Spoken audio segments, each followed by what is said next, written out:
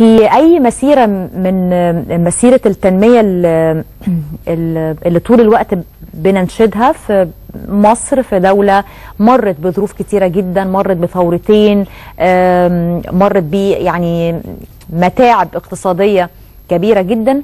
في ظل هذه المسيرة بنبقى طول الوقت عايزين نتكلم عن خطط التنمية. والعالم كله الحقيقة العالم كله ما بقاش دلوقتي خالص بيفصل الكلام عن التنمية. والديفلوبمنت والتطور آه، عن التنمية المستدامة. المصطلح ده بقالنا كام سنة في مصر هنا بنتكلم عنه ومن قبلها بسنين كتيرة الحقيقة العالم سبقنا واتكلم كمان عن فكرة التنمية المستدامة. آم، ده مفهوم عام يمكن بيقصد بيه بشكل عام كده تحسين جودة الحياة في كل مناحي الحياة. البيئة ال ال الهواء اللي بنتنفسه المحيطات الأبحار البحار. الزراعة الصناعة مكلفات الصناعة التعامل معاها كل حاجة كل حاجة في النهاية تعود على الإنسان والحيوان والنبات والبيئة بصفة عامة بالفائدة. في مصر هنا إلى أي مدى إحنا متماشين مع الخطوط الرئيسية للتعامل مع آه، آه، رؤية 2030 والتعامل مع التنمية المستدامة عايزين كمان نعرف أكتر عن آه، أهميتها ومين الأطراف اللي المفروض تشتغل على التنمية المستدامة؟ يعني هل عندي جهة واحدة بقول هي دي الجهة اللي مسؤولة عنها ولا جهات كتيرة والحكومة بصفة عامة والمواطن كمان قد يكون ليه دور في تحقيق ما يعرف بالتنمية المستدامة اللي هنعرف طبعا المقصود بيها؟ من ضيفنا الكريم اللي منورنا الدكتور حسين أباظة كبير مستشاري وزير البيئة للتنمية المستدامة. يا أهلا بحضرتك يا دكتور. أهلا منورنا يا فندم. الله يخليك يا فندم. شكرا. لك في ناس كتيرة المصطلح ما بقاش خلاص جديد بالنسبة لهم. تنمية مستدامة وطول الوقت بنقولها. قاعدين بنقول في فيجن وفي آه، 2030 جاية إن شاء الله وحاجات كتيرة قوي بس في ناس لغاية دلوقتي ما تعرفش المقصود قوي بمصطلح التنمية المستدامة. يا ريت بالشكل المبسط جدا نفهمه للسادة المواطنين يا فندم. اولا يعني حضرتك أشرتي إن هو مفهوم مش جديد. وده مفهوم الحقيقة أه، أه، طلع من حوالي يمكن 20 سنة أو أكتر 1987 بالتحديد لما أه، أطلق تقرير خاص بالأمم المتحدة كانت أطلقته سيادة الوزيرة أه، جرو برونتلاند أه، هارلم. أه، اللي هو مستقبلنا ال- الموحد ال- العام اللي خاص برؤيه للمجتمع الدولي آه، بإن يحصل تحول من أنماط التنمية التقليدية إلى أنماط تقليه التنمية تنمية. مستدامة. آه، بمعنى إيه؟ إن إحنا النهارده كلمة مستدامة نفسها آه، معناها إيه؟ معناها إيه حضرتك؟ يعني هو النهارده بنتكلم على إحنا عندنا ال- الأنماط التنمية ال- التقليدية آه، في هدر للموارد في عدم كفاءة في استخدام الموارد الطبيعية سواء ميه سواء آه، مياه آه، طاقة سواء آه، مدخلات أخرى. الهوى نفسه. الهواء ده طبعا آثار. سلبية بقى لأنماط التنمية التقليدية. اللي إحنا بنقول ده المفروض دلوقتي يبقى حصل أو يحصل له تحول. ما ينفعش إن إحنا نمشي بهذا ال- ال- المعدل أو بهذه ال- الوسيلة أو الوتيرة اللي تمت في الماضي. بنتكلم على آه، حتة آه، جزئية الاستدامة. إحنا النهارده أي تنمية سواء مستدامة أو غير مستدامة البني آدم أو ال welfare بتاع البني آدم نفسه هو الأساس هو ال core. ما كانش النهارده. رفاهية وصحة الإنسان هو الأساس. والكواليتي اوف لايف ونوعية الحياة الحياة. وكل كل ده كل ده. ما كانش النهارده. آه، آه، ال- البرامج التنمية أو خطط التنمية ينتج عنها آه، آثار إيجابية على آه، آه، المواطن نفسه يبقى إحنا ما بنحققش تنمية. ايا كان بقى المصطلح بتاعنا. إنما إحنا النهارده لما بنقول تنمية مستدامه بنقول إيه؟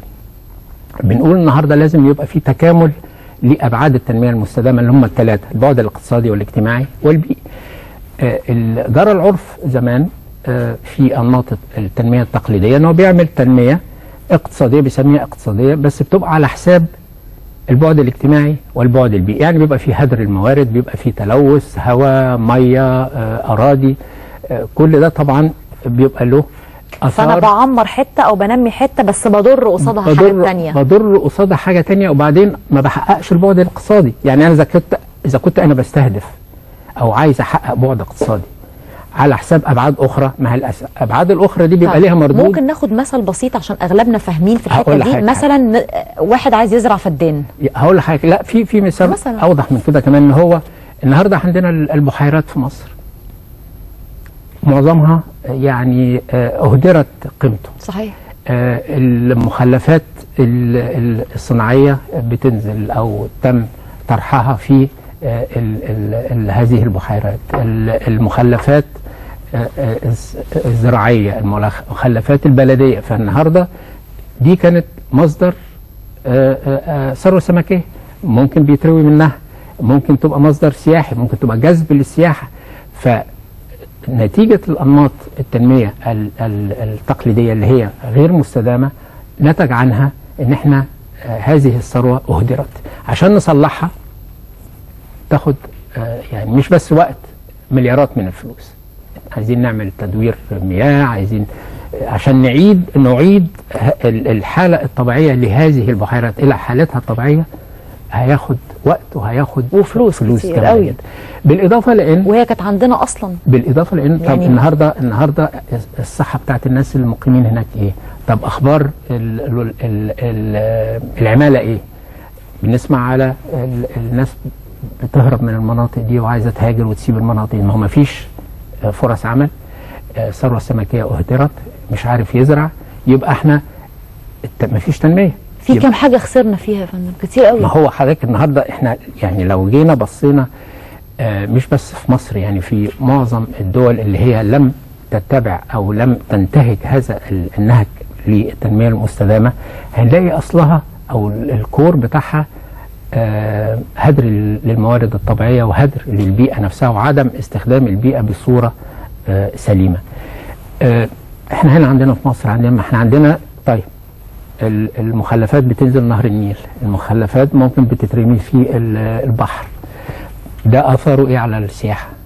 طب النهارده في في النهارده ممكن السياح يجوا في مناطق يتم إلقاء المخلفات البلدية أو آه، ال- ال- المخلفات الصناعية أو الزراعية في آه، مياه النيل النهارده طب اللي هو بالحديث عن البيئة يا دكتور مثلا ومثال كنت لسه الأسبوع الماضي بتكلم عنه والحقيقة بقالي كتير بتكلم عنه. مثلا عندنا الهيئة العامة للخدمات البيطرية بتستخدم سم الاستركنين وهو سم محرم دوليا لقتل كلاب الشوارع.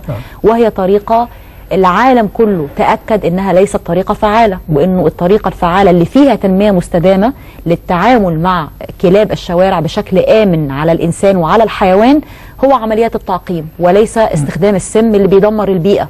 مثلا. ما ما بالظبط يعني حتى لو طبقنا يعني غير إن, إن هذا موضوع غير آدمي وغير أخلاقي وغير أو مش متماشي مع ايا من الديانات أو ايا من السلوك السوي الحقيقة عشان برضه صحيح. آه آه نبقى واقعيين في هذه في هذا الموضوع. إنما. حضرتك بتتكلمي على ال- المبيدات. طيب ما إحنا المبيدات؟ آه، في قطاع الزراعة. أخبارها إيه؟ ما إحنا النهارده بنتكلم على استخدام بعض المبيدات الضارة بالصحه اللي بتلوث الفود تشين نفس ال- الأكل اللي إحنا بناكله بت بتفسد التربة نفسها بتفسد المياه الجوفية اللي إحنا برضو بنستعملها للري أو للشرب. آه الآثار السلبية بقى على مش بس صحة البني آدم وصحه الطبيعه والبيئة وإلى آخره. طيب القيمة المادية لو قيمنا أو قومنا هذا الهدر أو هذا أو ال- الأسلوب من التعاطي مع البيئة ومع آه، قطاع الزراعة. بيكلف الدولة قد- إيه؟ تكاليف صحية مستشفيات آه الإنتاجية بتاعت نفس خسارة في المحاصيل الزراعية. المحاصيل الزراعية نفسها.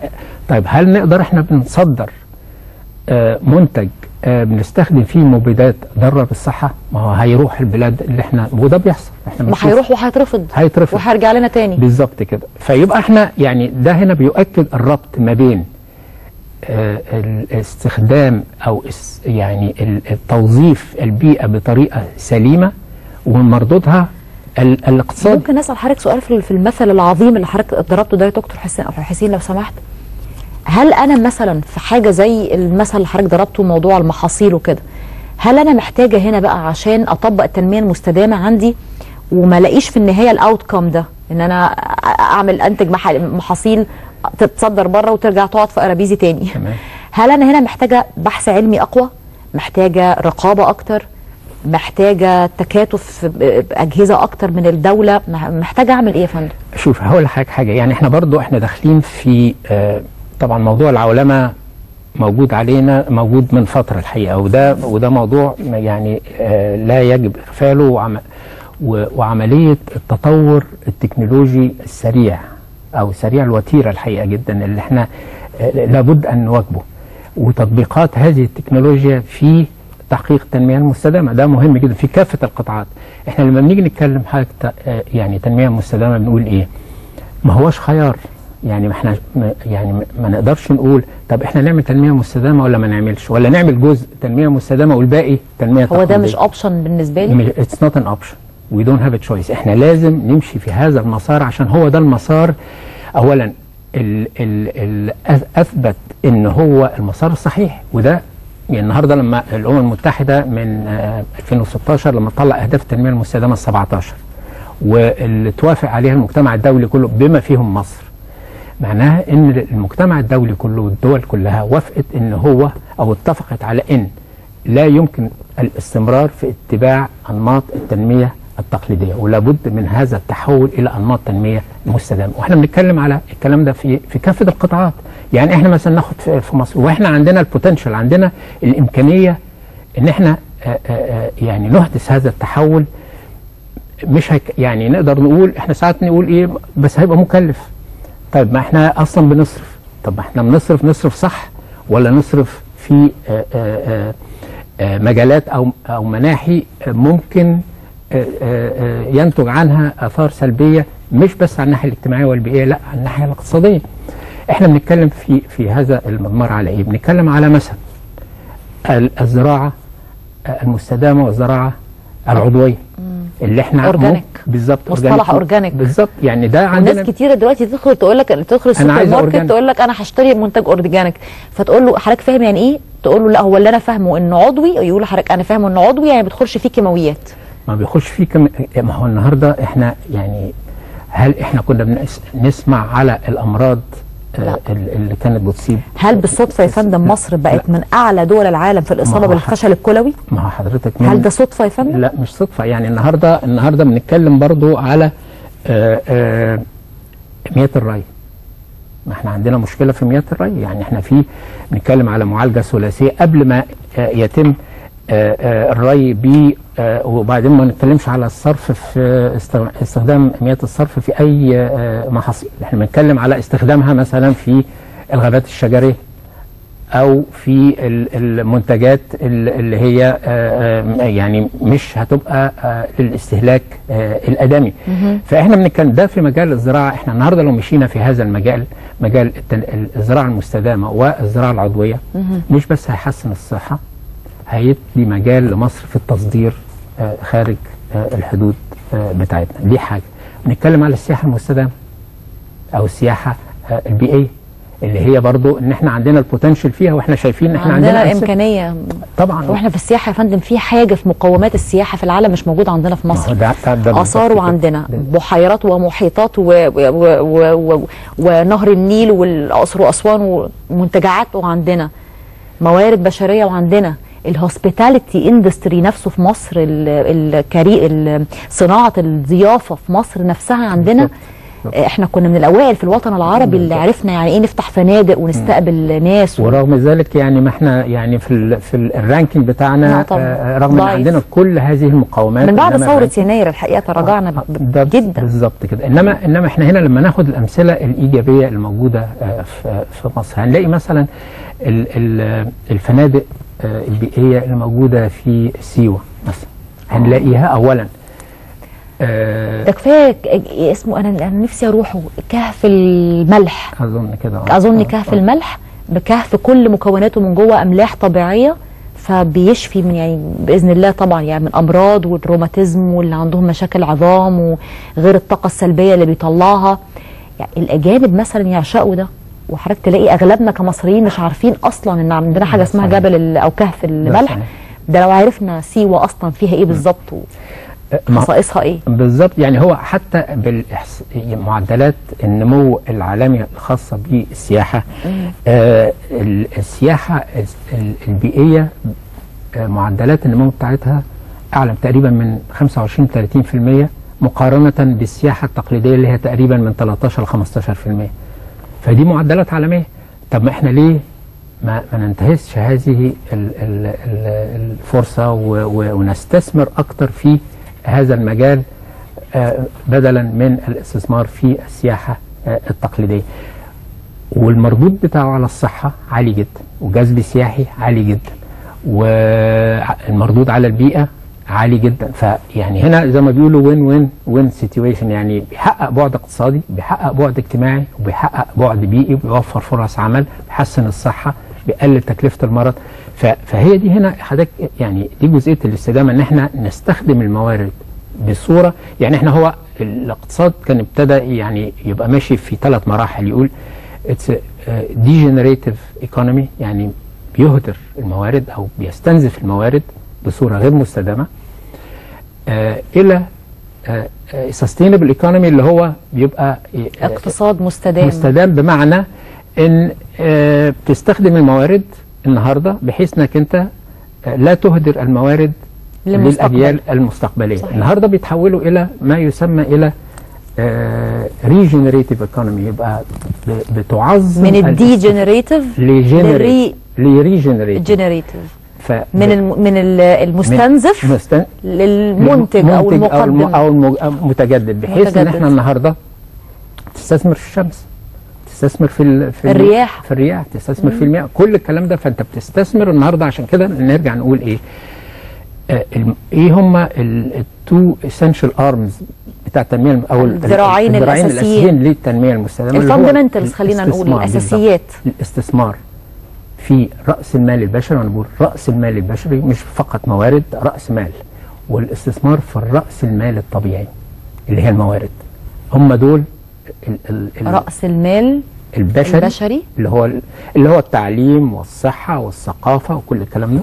ده مهم جدا. ك starting point وده الدول اللي عمل إحنا يعني إحنا بنشوف الدول عملت إيه؟ الدول اللي هي عملت طفرة ما. عملناش لا ما بنخترعش. ما إحنا بنقولش- بنخترعش حاجة. هم عملوا كده. يعني وإحنا كان عندنا كده.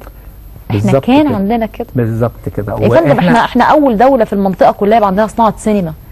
عملناها وصدرناها للعالم و... لسه. والله من أيام قليلة الثقافة لسه من أيام قليلة بتفرج على interview لله يرحمها فاتن حمامة كانت عاملاه أبيض وأسود بالفرنساوي. فرنساوي آه. يعني حاجة حاجة تشرف بشكل ده مش حقيقي. عادي. ده حقيقي ده حقيقي. ما هو هو بالظبط حاجة كده. يعني إحنا النهارده إحنا برضه لما نقول الثقافة والسياحة. صحيح. طب ما إحنا النهارده ما يبقاش في ثقافة. هنقدر ننمي السياحة؟ لا. ما, في عندنا ثقافة التعامل مع السائح؟ شكلها إيه؟ ما ينفعش.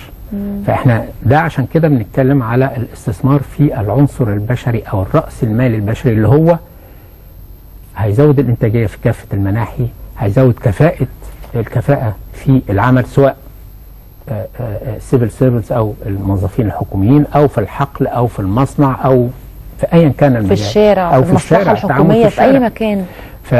فدي جزئية. وبعدين بنتكلم على الاستثمار في آه، الموارد, الموارد الطبيعية. يعني الطبيعية. النهارده برضه أنا أحب أتطرق إلى نقطة مهمة اللي هي آه، نقطة المية.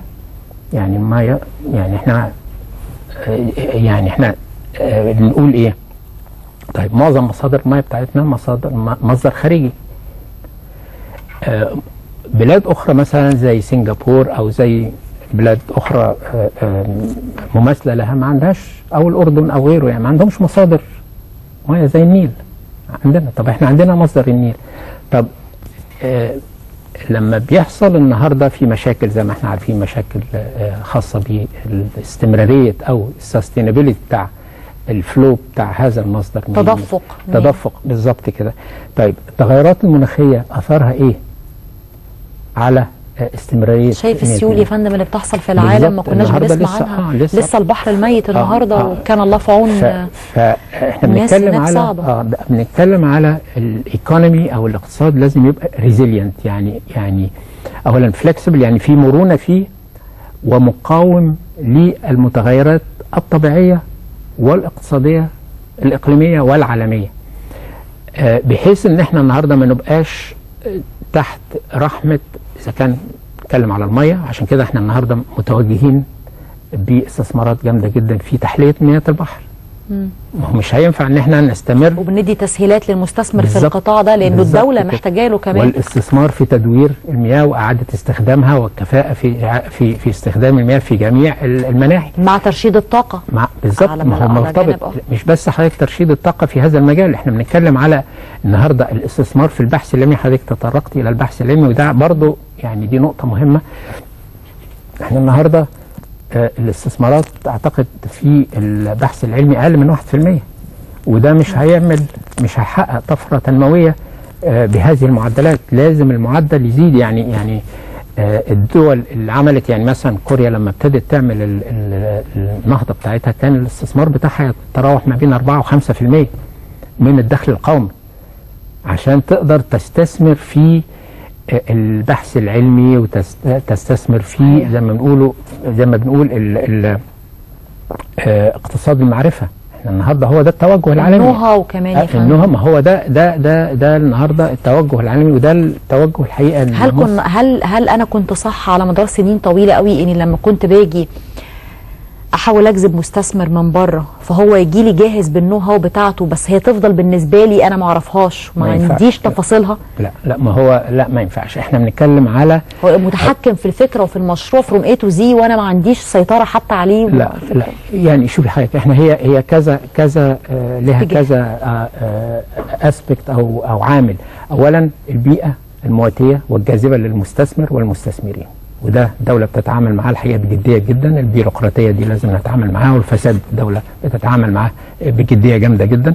إجراءات آه، جذب المستثمر و- و- واعطائه ال- ال- ال- التسهيلات اللازمة دي مهم مهمة جدا. إن إحنا ال- المنا- المناخ يبقى مواتي لجذب هذه الاستثمارات وجذب هذه الشركات الكبيرة اللي هي لما تيجي مش بس بناخد منها نوها بناخد منها التريننج وبنعمل عملية توطين لهذه التكنولوجيا بحيث إن إحنا تدريجيا إحنا مش عايزين ده نبقى دايما متلقين للت- للتكنولوجيا. عايزين نبقى منتجين لهذه التكنولوجيا زي ما بلاد كتير سبقتنا فيها وابتدت معانا يعني. الحقيقة إحنا ابتدينا ال- الثورة بتاعتنا من 60 70 سنة آه، دول كتير عدت في المرحلة دي عشان انتهجوا هذا آه، آه، النهج آه، آه، منذ فترة الحقيقة. آه، فإحنا دلوقتي ده التركيز الحقيقة النهارده جذب هذه الشركات الكبيرة بحيث إن إحنا نستفيد منها نبني على هذه التكنولوجيا ونعمل لها ادابتيشن بما يتوافق مع الظروف المحلية آه الخاصة بينا ويبقى ايفنشلي نقدر نصدر. في النهاية إحنا- آه، نقدر بالظبط، نصل لمرحلة يعني إحنا النهارده التصدير. بالظبط يعني إحنا النهارده يعني لما يكون توجه الدولة إن مصر تبقى هب أو أو آه مركز للطاقة الشمسية والطاقة المتجدده بصفة عامة. إحنا بنتكلم على تصدير يعني الاكتفاء اولا الذاتي من هذا المصدر اللي هو الرينيول متجدد وتصديره.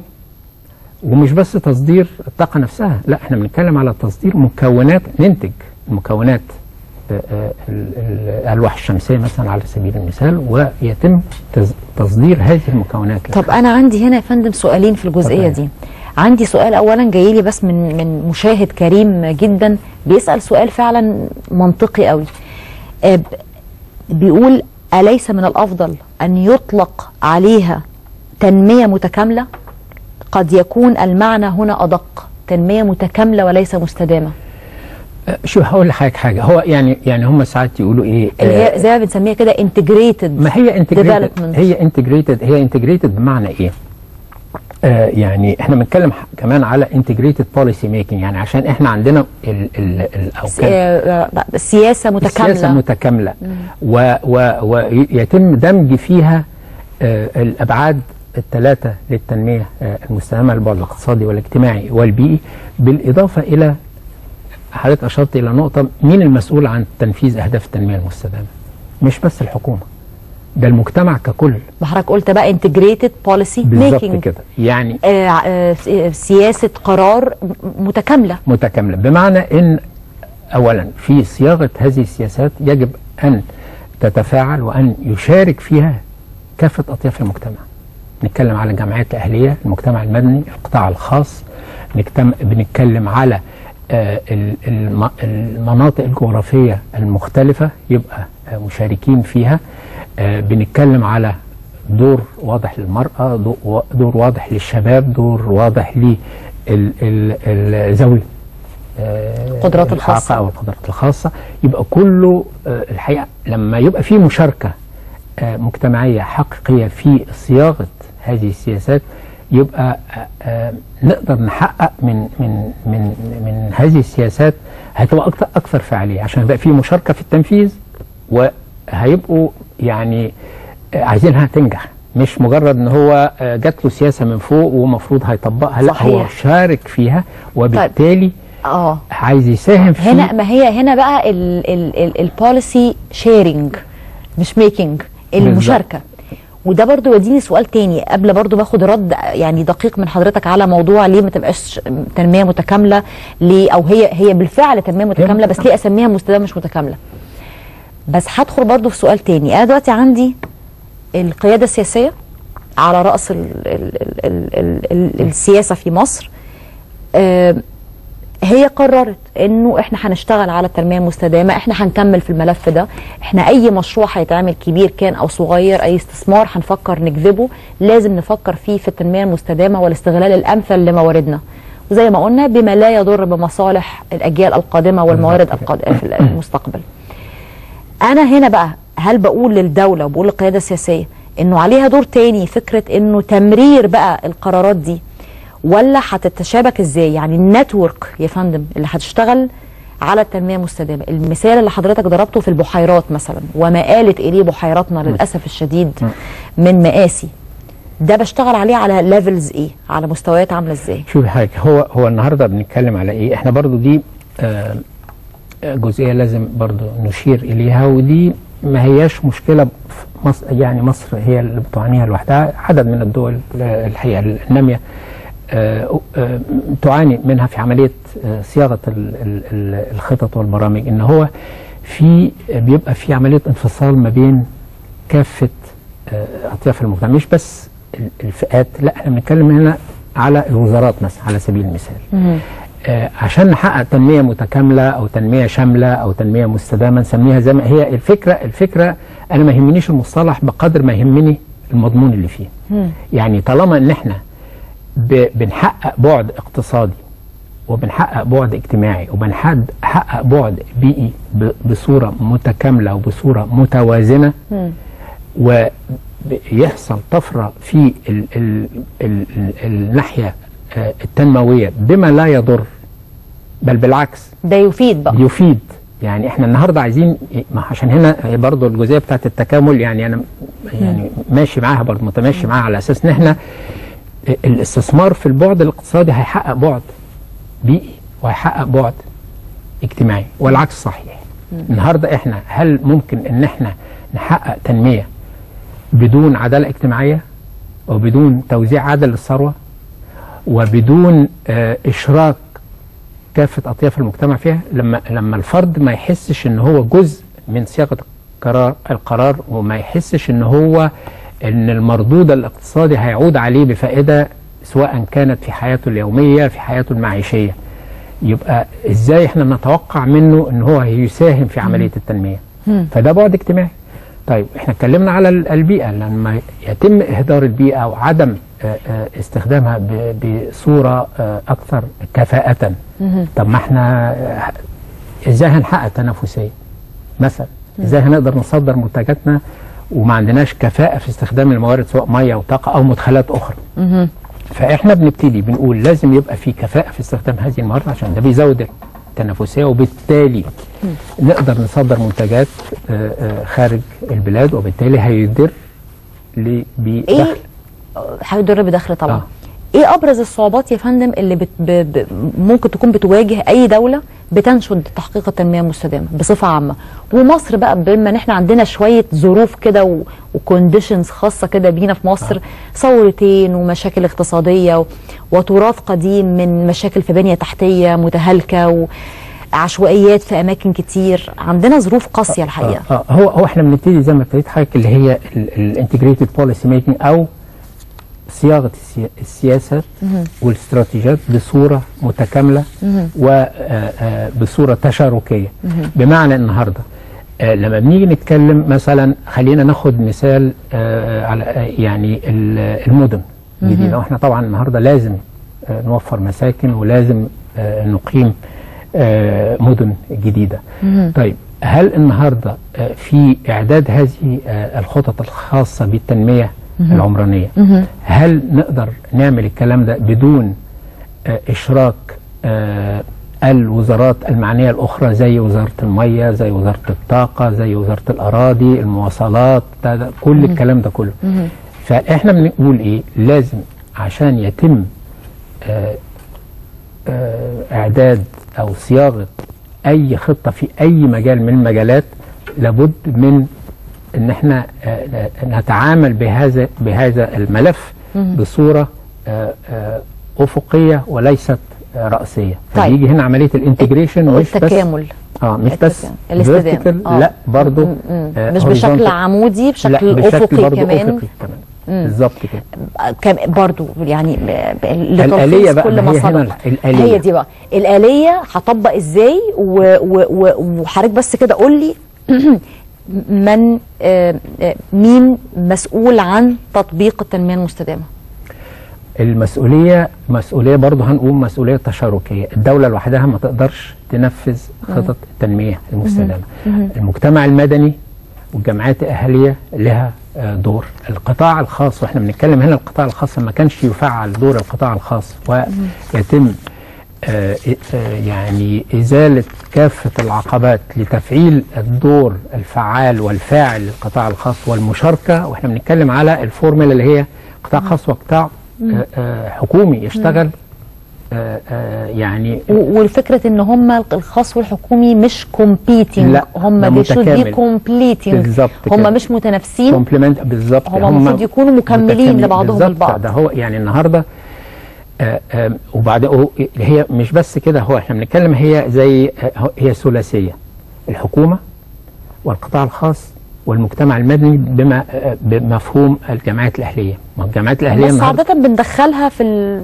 بت- بن- بندخلها في المجتمع الخاص في القطاع الخاص عموما يعني, آه، يعني- بما فيها ال NGOs وكل ال... بالظبط كده يعني. النهارده ال- القطاع الخاص عنده ال... عنده ال know-how إلى قدر كبير عنده ال flexibility والمرونة في في التعامل عنده طبعا وبقى عنده قوانين ما كانتش موجودة الأول يا فندم. بت... بتنظم عمله وبتسهل له أمور كتير. بالظبط. صحيح لسه في عقبات ما عندناش كلام في ده بس أحسن من الأول. هي أحسن من الأول. كتير إنما هو يعني كل ما هنسهل و... وندي المناخ المناسب للقطاع الخاص إن هو آه، آه، يشتغل أكتر. يشتغل أكتر. وينتج أكتر. بالظبط كده. والحكومة أساس عملها الحقيقي أس- أساس رقابي وتشريعي. ده ده الرول الأساسي للحكومة ومكمل وداعم لدور القطاع الخاص والمجتمع المدني ب- بصورة عامة. فنرجع نقول إيه؟ آه، آه، مين المسؤول عن تنفيذ أهداف التنمية المستدامة؟ هو المجتمع ككل.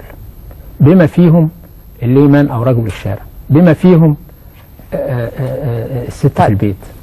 رجل الشارع دلوقتي أو الست الجميلة اللي في البيت سمع كلام حضرتك وحاسه انه كلام مهم قوي وفهمت كل اللي فات ده وفهمت واستوعب يعني إيه تنمية مستدامة ويعني إيه أحافظ على الموارد بتاعتي وعلى البيئة وعلى التربة وعلى الشارع وعلى الهواء وعلى الزرع وعلى كل اللي إحنا شرحناه ده. بيسألوا حضرتك إزاي أنا كمواطن عادي مش حكومة ولا دولة يعني مش حد مسؤول إزاي أقدر أساهم في تحقيق المصطلح الحلو اللي حضرتك شرحته تمام. اولا إحنا يعني مهم جدا إن إحنا نفهم إيه هو المفهوم ونفهم إن هو مش مجرد سلوجن أو شعار. صحيح. لا إحنا بنقول إن ده آه، ملناش الخيار إن هو ده التوجه اللي المفروض كل آه، فرد وكل جهة في الدولة تنتهج هذا آه، المنهج. هنتكلم مثلا على السلوكيات. إحنا النهارده كان هناخد الطاقة مثلا.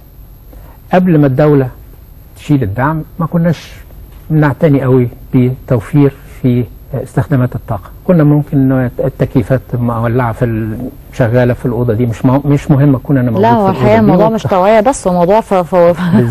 فلوس كمان. وفواتير بقت بتيجي بتنزل على الراس كده مرة ما هو واحدة. كده. بس إحنا نقول إيه؟ طيب آه قبل كده ما كانش فيه هذا يعني أنماط أنماط الاستهلاك ما كانتش مستدامة ما دي برضو نوع من صحيح. الثقافة صحيح. إحنا النهارده عندنا هدر أو كان في هدر أكتر في استخدامات الطاقة صحيح. طب لسه ما زال لغاية النهارده هدر في المية. هدر. المية المية. ما ينفع المية. ما ينفعش م- فكرة إنه ست البيت لسه ما عندهاش الوعي قوي إنها ما ينفعش تف- تفتح الحنفية على الخضار وتروح تعمل حاجة وتنشر كده. الغسيل وت- وترجع وكل ده الميه عماله بتنزل على الخضار. يعني أو النهارده الفاكهة أو كده. لا يعني ده ح- هو بالظبط الخرطوم اللي بشغله على على العربية العربية عشان. تتغسل بالربع ساعة دي أنماط. والمشهد ده مش موجود بره على فكرة.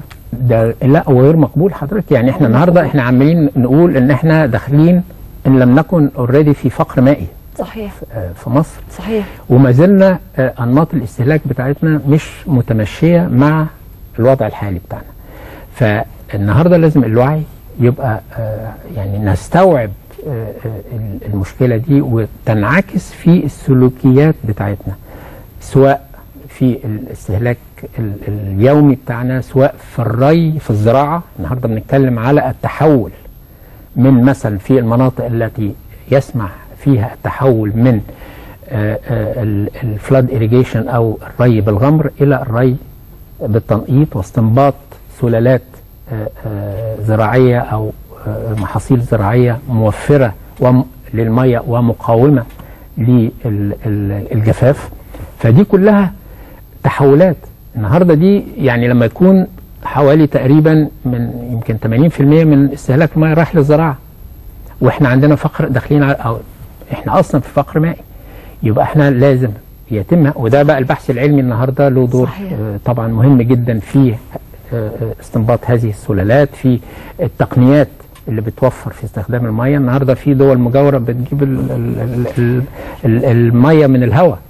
فاحنا النهارده صحيح. كل ده حضرتك جيب المية من الهواء؟ أيوه من ال condensation من ال- ال- ال- تبخير. آه التبخير آه تبخير. آه، تنقيط؟ آه. تبخير. لا لا آه، هو آه، مش عارف اللي هي ال condensation اللي هي اللي هو التكثيف تكثيف. هو تكثيف غير التبخير؟ آه لا آه، التبخير اللي هي آه العكس. vertical آه، لا horizontal بالظبط سؤالي الأخير لحضرتك آه، حضرتك حقيقي مشرفنا وحوار. يعني محترم ومثمر يا فندم جدا. حضرتك ككبير مستشاري وزير البيئة للتنمية المستدامة آه، بطبيعة عمل حضرتك تنصح بإيه؟ آه، معالي وزيرة البيئة والقائمين على الملفات المختلفة للبيئة. تنصحهم بإيه؟ ننصحهم بإيه الحديث عن 2030 ننصحهم بإيه في بكرة؟ حتى بلاش نستنى ل 2030 النهاردة وبكرة. نشتغل إزاي على الملفات اللي, اللي في إيدينا؟ إزاي تاني نرجع نقول إنه لدينا بيئة صالحة لدينا بيئة خصبة. عندنا ما عندناش إهدار أو مش ما عندناش لأن ما عندناش خالص دي صعبة إنها تتحقق بس على الأقل قللنا قوي الإهدار الكتير في موارد كتيرة قوي قوي كانت لدينا في آه، مصر. شوفي حاجة إحنا إحنا مش مستنيين ل 2030 إحنا فعلا الدولة بدأت بالفعل منذ فترة في وده واضح في زي ما قلت لحضرتك الاستثمار الضخم في الطاقة المتجددة. ده أصلا تنمية مستدامة. ده آه، آه، يعني إحنا كنا عايزين نتكلم على الاقتصاد الاخضر بس يمكن في لا، آه،. يا إنما- ريت- يا ريت إنما عن هو ده. نموذج إن إحنا النهارده بنستثمر زي ما كنت بقول بنستثمر في الموارد الطبيعية بما يعود على الاقتصاد آه، بعائد. والنهاردة يعني طب ما الشمس موجودة عندنا إحنا يعني في الحزام الشمسي ال- اللي هو نمبر 1 في العالم يعني. فازاي وبرضه المصادر ال- ال- بالنسبة لل- للرياح. فده مصدر دخل يعني ده مش عايز أقول يعادل البترول هو يعادل ويمكن أكتر. البترول هينضب في الدول اللي عندها الشمس. لن تنضب لا تنضب إلا يعني يوم القيامة بقى، والله أعلم. فالنهاردة ما كانش وده توجه يعني آه، آه، ال- ال- المشروع الضخم في بنبان أكبر مشروع في العالم لتوليد الطاقة آه، آه، الشمسية.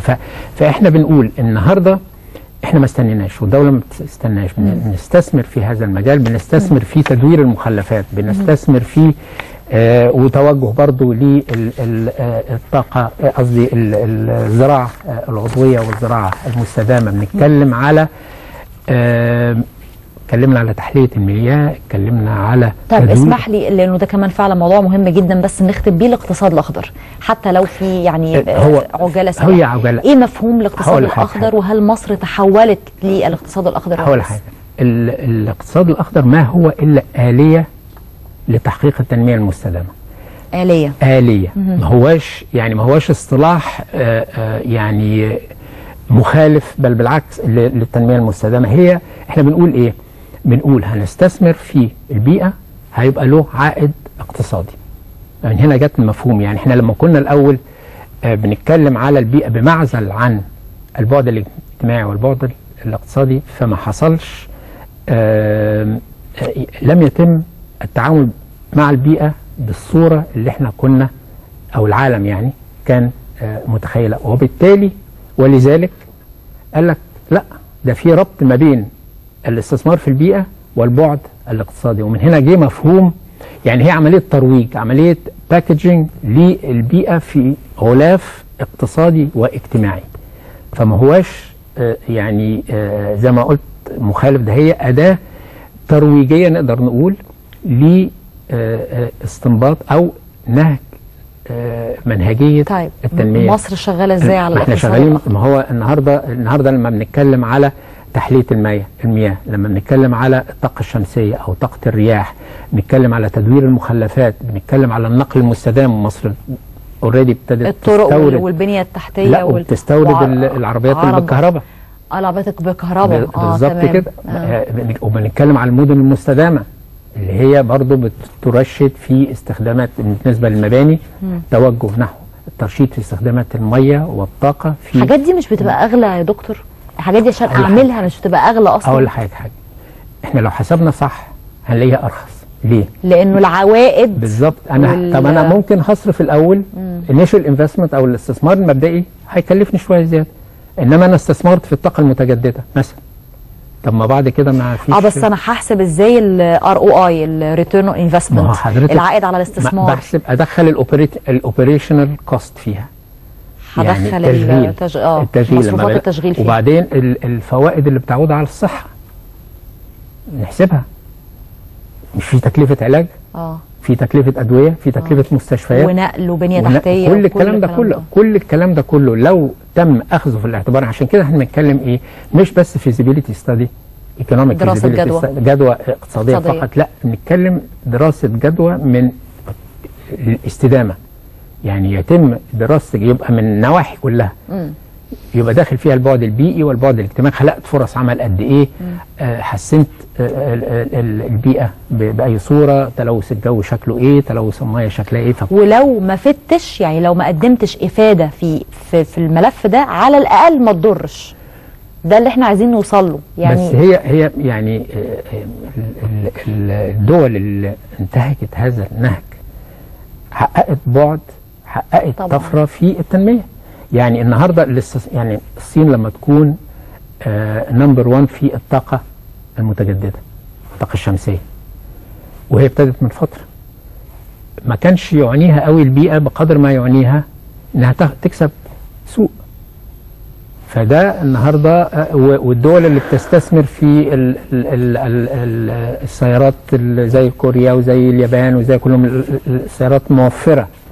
آه، للطاقة السيارات الكهربائية اللي تشتغل بالهيدروجين كل الكلام ده. فهو وده المفهوم الاقتصاد الاخضر إن هو بيحقق بعد اقتصادي وال starting point بتاعته أو نقطة البداية اللي هو بيستثمر في آه، البيئه أنا بشكر حضرتك جزيل الشكر على هذا الحوار يا فندم استفدنا. وأمتعتنا ومعلومات مهمة ولازم نكون فاهمينها أكتر كمان لأنه كل دي حاجات إحنا بنتعامل معاها حتى في حياتنا اليومية وزي ما حضرتك ذكرت وقلنا خلال الفقرة إنه بعيدا حتى عن القرارات السياسية للدولة إحنا كمواطنين حتى بإيدينا إن إحنا نساهم. نساهم ونساعد في إنه الدولة إن شاء الله تروح لمنطقة أحسن فيما يتعلق بالتعامل مع البيئة والتنمية المستدامة إن شاء الله.